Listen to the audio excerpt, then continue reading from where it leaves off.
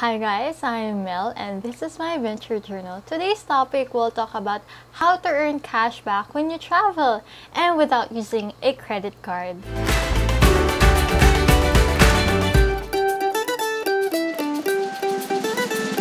I totally agree that traveling is expensive, pero kailangan nyo lang maging madiskarte para mabawasan yung expenses nyo.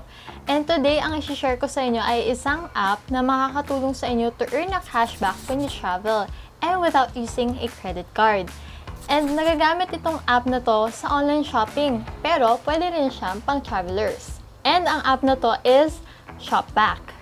Sa mga hindi nakakalam, ang Shopback is a cashback reward program na accessible across Asia Pacific with 5 million members on its platform. It also allows online shoppers to earn a portion of their purchase through the app. Nag-launch sila noong 2014. So, how does it work? So, kunyari, magbubook kayo ng accommodation sa Agoda. So, bubuksan nyo lang yung app. Wait, kunin ko lang yung phone ko. So, bubuksan nyo lang yung app. And then, punta kayo sa travel. So, ito yung travel. Then, para makita nyo. Ito yung mga partnered companies ng Shopback. Makikita nyo yung cashback na ma-earn nyo pag pinurchase nyo siya. Sa gilid, ayan. And kung ilang days nyo siya bago ma-redeem. And, punta tayo sa Agoda. Click nyo lang yan. So, maglalabas siya ng info and pro promo. So, yan yung mga promo code na available dito sa cashback. I mean, sa shopback. Ayan. So, basahin nyo maigi yung mga nasa info. Ayan. So, ang nakalagay dito sa don'ts is Agoda app purchases on Android. Since Android user ako, magpipc tayo, okay? So, ito na yung shopback. Log in. So, hello Melissa. Yan. And then, punta tayo sa Agoda. Yan, may magpa-pop up dyan. Basahin nyo mabuti. Pwede nyo rin i-view more.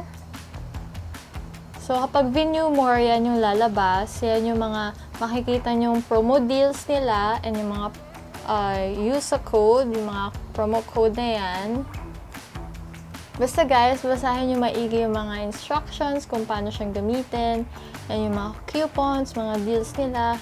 Basahin nyo lang maigi guys kung paano siyang gamitin. So, punta na tayo sa Activate Cashback. Continue to Agoda. So, mag-open siya ng bagong window for Agoda.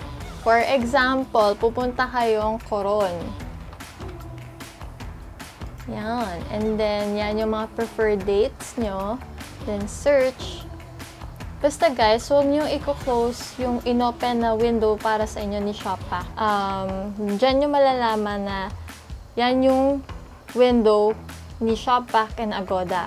Yes, kasi dyan makikita yung activity nyo. Kunyari, ito. Yan na yung ibobook nyo. So, kunyari, reserve. Yan, it's happening. Lagay nyo lang yung details nyo. And pagkalagay ng details nyo, mag-i-email yan sa inyo ng receipt. Yan yung marireceive yung receipt from cashback through your email. And, and makikita nyo rin siya guys dito sa cashback overview.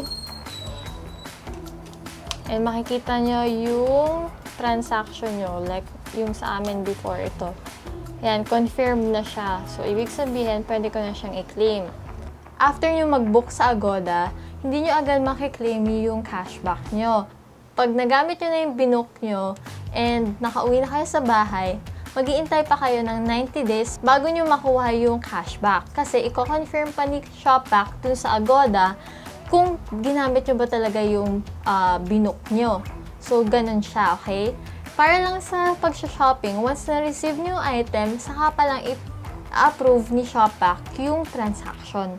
Take note din guys, hindi pare-pareho yung shopback percentage ng bawat partnered company. May mga 6%, may 2%. So, basahin nyo lang maigi kung ilang percent yung pwede nyo makuha. Okay? You can also monitor yung activity nyo through Shopback. Kung ano yung kinlik nyo, ganyan. So, dito, papakita ko sa inyo. dito nyo makikita, cash overview, click activity. Ayan, click activity. So, ayan, nakita ni Shopback na nag-click ako sa Agoda and kung anong activity ko. Your click has been recorded and we are checking to see if you shop at Agoda. If so, you will see your cashback within 2 days. So, yan yun. So, mag-report kayo kung missing yung cashback nyo. Pwede rin kayo mag-refer ng friend, pero kapag successful yung referral nyo, magkakaroon kayo ng 100% or 100 hindi, joke lang, hindi 100%. 100 pesos kada successful referral. Okay, so ayun guys, sorry kung naputo yung ating conversation sa baba kasi dumating kuya ko. And so now, may mga maririnig kayong noise, so sorry na lang, okay? So far, legit naman talaga siya. Nagagamit siya sa Klook and Agoda and other hotel bookings. Papakita ko sa inyo yung proof na ginamit ko siya. Okay, wait lang. Wait lang guys, ha? Wait lang. So, ito yung sa Klook. Yan yung Klook. Yan yung na-earn naming cashback ng friend ko. So, hati kami dyan. Hati kami dyan. Ito yung sa wifi namin. Tapos, ito yung sa Taipei 101. And then, yung sa Agoda, Agoda, where are you? Ito yung sa Agoda. Yan yung nakuha namin cashback sa Agoda. Paano mag-withdraw sa Shopback? Makakapag-withdraw kayo once na sinabi na ni Shopback na pwede nyo nang i-redeem yung uh, ginamit nyo or binook nyo. For example, ganito siya. Kunyari sa Shopee kasi wala akong booking for Agoda and Klook as of now.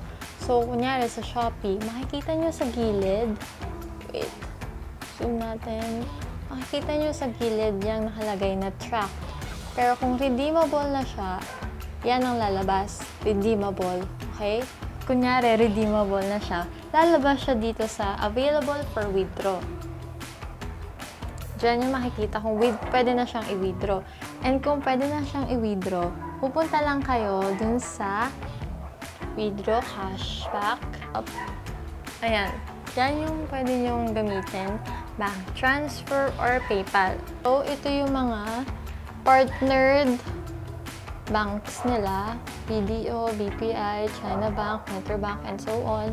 So, ilalagay nyo lang yung amount kung magkano yung i-withdraw nyo and dapat minimum 200 pesos. Okay? Wait. Kaka-withdraw ko lang and so far, i-update ko kayo kung talagang pumasok siya sa bank account ko kasi magre-reflect siya sa banko within 7 to 14 days.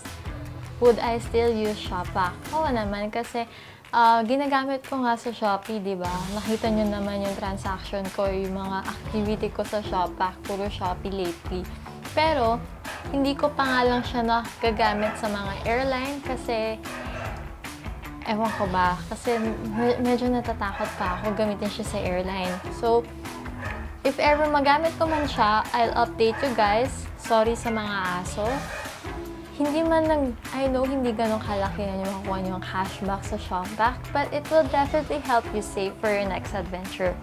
So there we have it guys. I'll see you guys next week for another video like this. And hit that subscribe button and have a safe adventure. Bye!